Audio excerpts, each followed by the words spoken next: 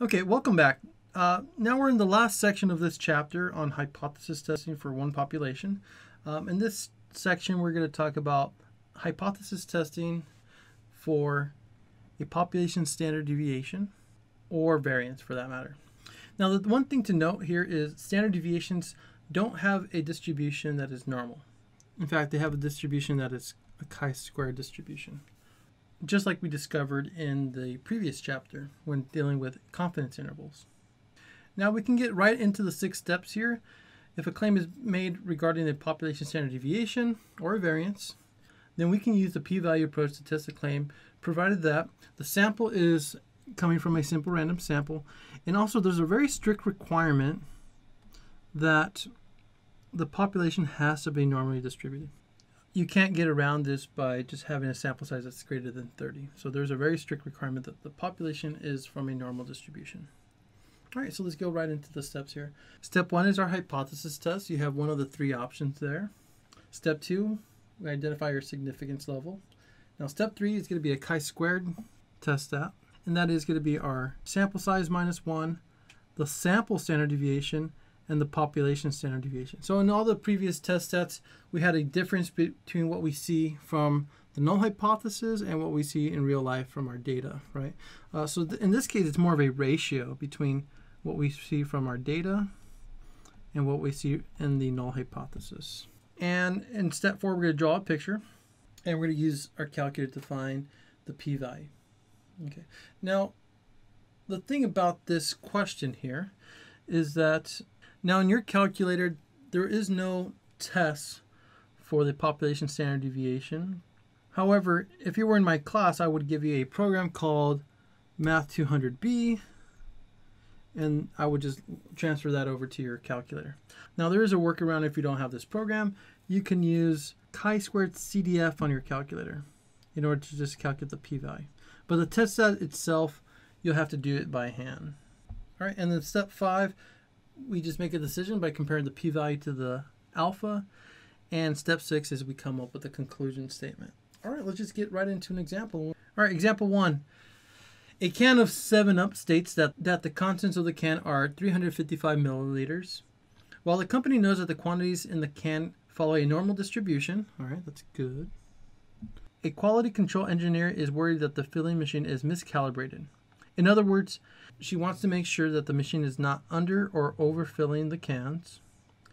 So she randomly selects nine cans of 7 Up, measures the contents, and obtains the following data. So this is the amount of milliliters from each one of the cans. There are, in this case, nine cans here, right? This is our data. Nine cans.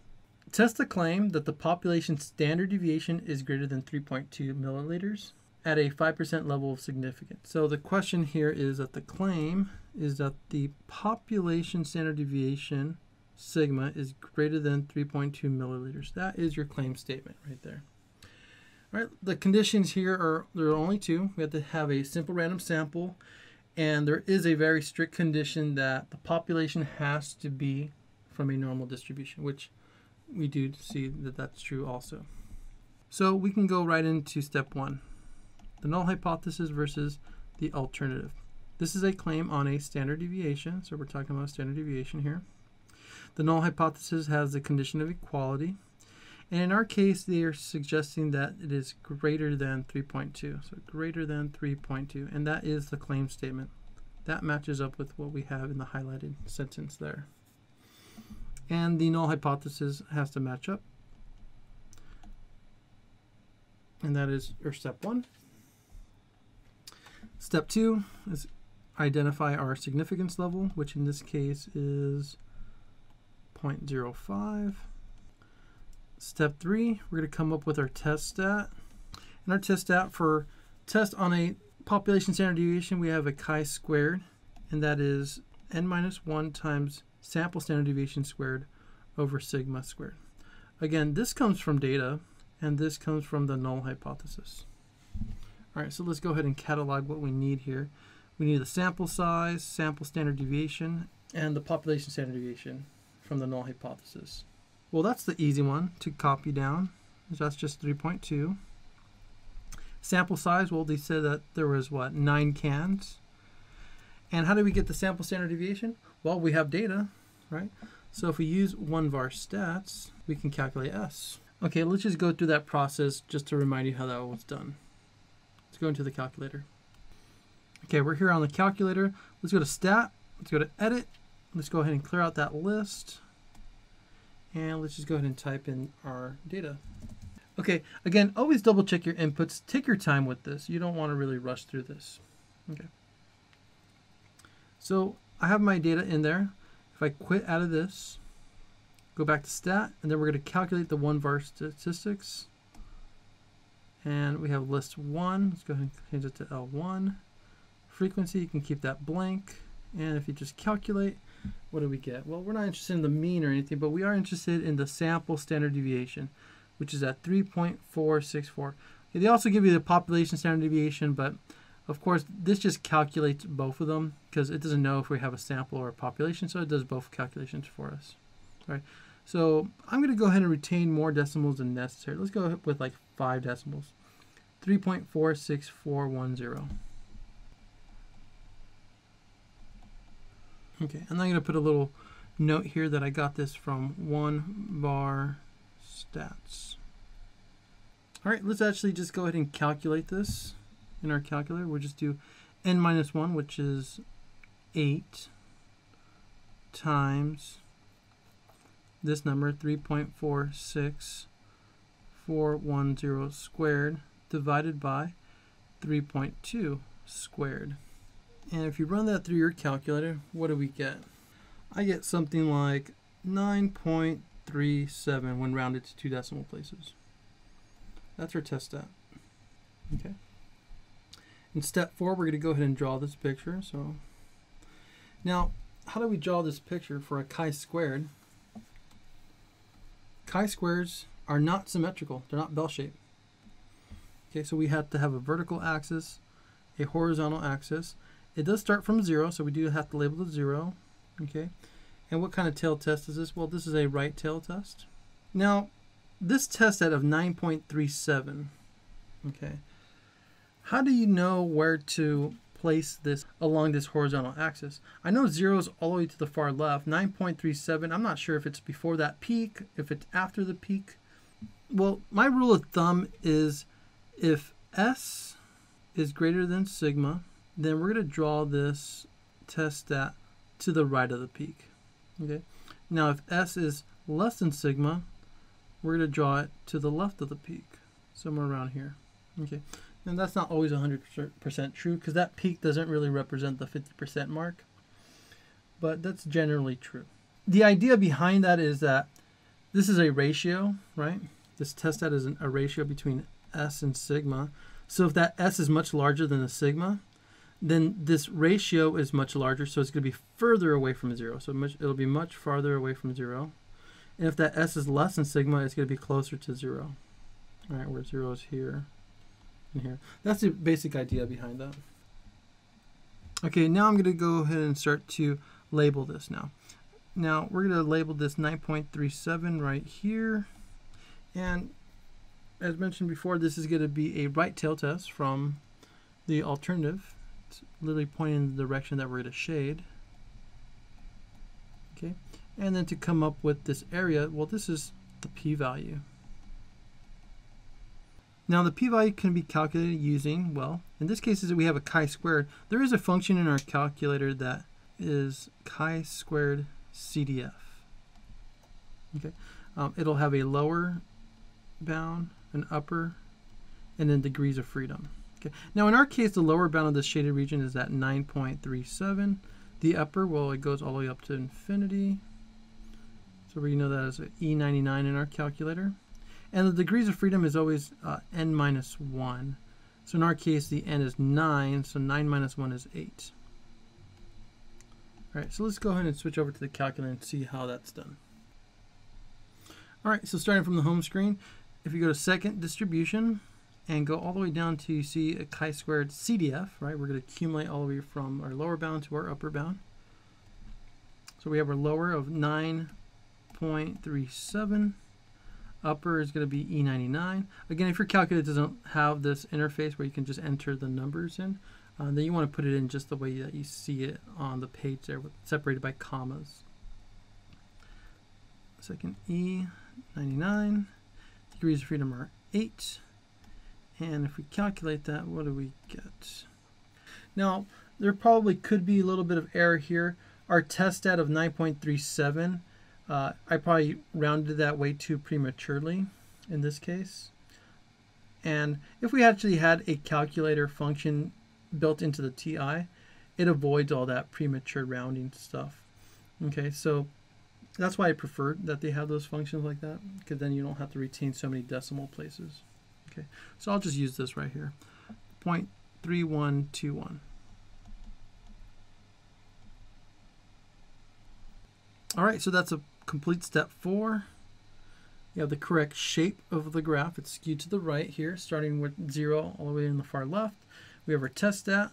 The position of our test stat, we kind of use this guideline here to help us out with that. We are shading in the correct direction because our alternative tells us to shade to the right. And the area of that region is called the p-value. Okay, And that is, in this case, calculated using chi-squared CDF. Okay. Um, and that's 0.3121.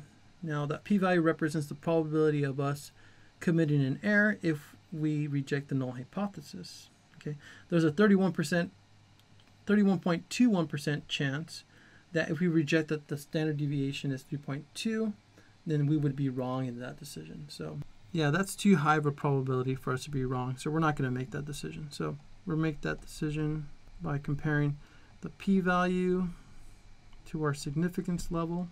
The significance level in this case was 0.05. The p-value being 0.3121. That's greater than that. So we fail to reject the null hypothesis.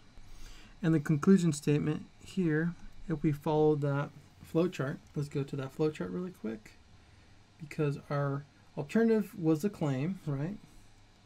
and we failed to reject the null hypothesis. Okay, so the alternative was the claim, so we're going to go in this direction, and we failed to reject the null hypothesis. So our conclusion statement starts off with, there is not sufficient sample evidence to support the claim that, and then we restate the original claim. And what was that claim statement? Hopefully I highlighted it. Yeah, here it is. That the population standard deviation sigma is greater than 3.2 milliliters.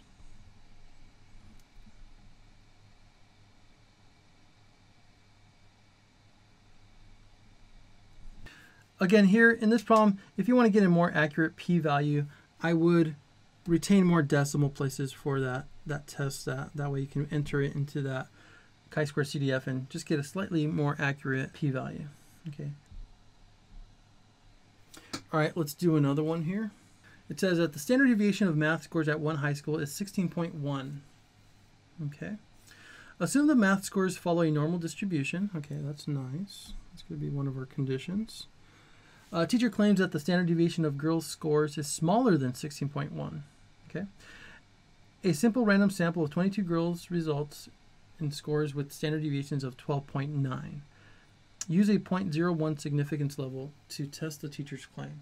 All right, so they're saying that the standard deviation of math scores at this school is 16.1. That's a known quantity. And we are to assume that these scores follow a normal distribution. Now here's the claim statement. The, the teacher claims that the standard deviation of girls' scores is smaller than 16.1. So again, a standard deviation is a measure of spread.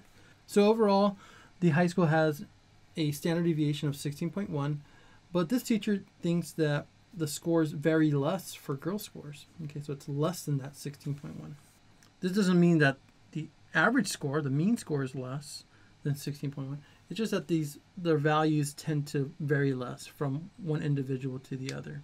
Now, when they actually sampled 22 girls, the scores did have a standard deviation that was less than 16.1. They actually found that it was 12.9, but we're trying to find out if that 12.9 is significantly less than 16.1. And if so, then we can actually support that claim. Okay, so let's go ahead and do that. All right, so do we have a random sample? Yeah, random sample. And the population was normal. Okay, let's start with step one. And that is our hypothesis statement. Okay, So hopefully by now you're getting a hang of this, right? It's always the same six steps, okay? Hypothesis statements, step two, significance level, step three, test stat, step four, draw a picture, step five, make a decision, and step six, write your conclusion statement. Very systematic. All right, this is a claim on a standard deviation. So we're talking about standard deviation here. Okay. Uh, the null hypothesis has the equality. And the alternative in this case, well, what's the claim statement suggest? That the standard deviation of girls' scores is smaller than 16.1. So this is suggesting that the standard deviation is less than 16.1. And that is what is mentioned in the claim statement. So let's go ahead and label that. And in the null hypothesis, we're going to have also 16.1. Again, these two numbers always match. Step two, we're going to have our significance level. In our case, they say it's going to be a 0.01. Okay, so they really don't want to be wrong in their decision. Step three, we are going to come up with our test stat. And for standard deviations, the test stat follows a chi-squared, and that is n minus 1 times s squared over sigma squared. Again, this comes from the null hypothesis. This comes from our sample data. Okay, let's go ahead and catalog all those values here. Our sample size, what was the sample size? Well, it looks like they took 22 girls' scores. And what was the sample standard deviation? So from these 22 girls, the standard deviation was that it was 12.9. Okay. And this sigma comes from the null hypothesis, which is 16.1. So let's go ahead and calculate that. So in this case, I am going to retain a little bit more decimal places than needed. So we get, what, 21 times 12.9 squared over 16.1 squared.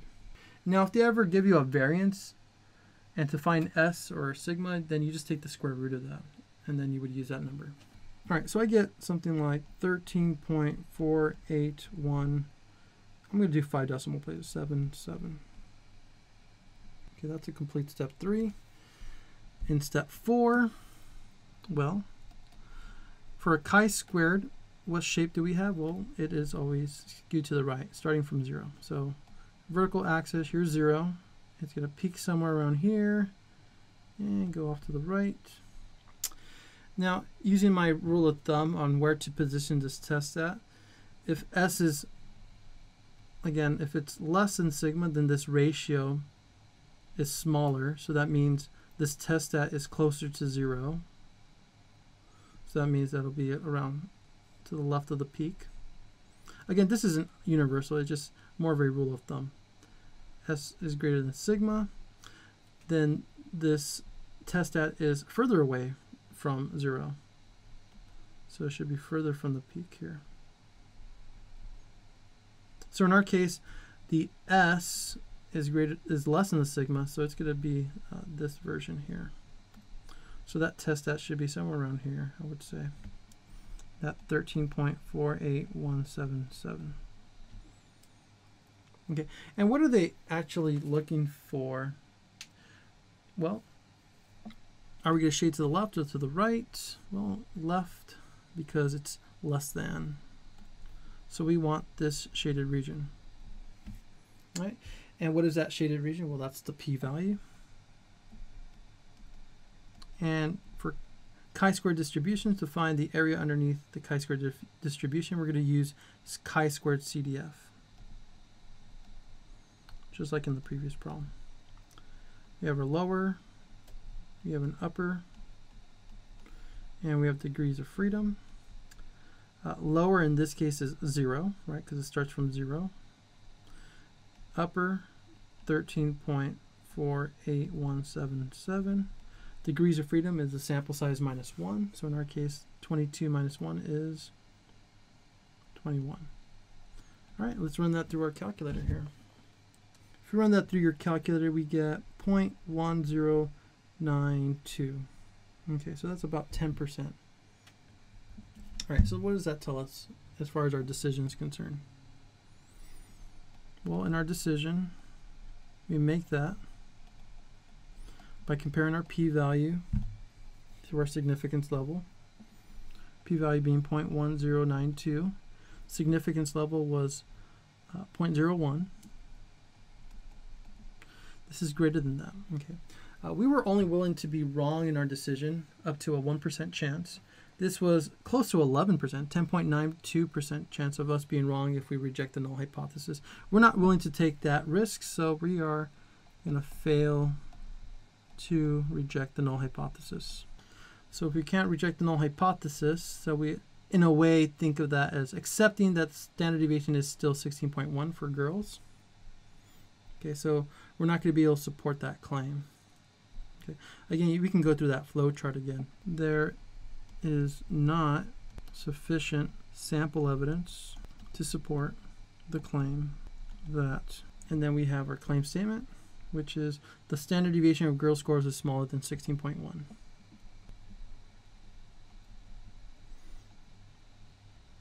Okay, thanks for watching.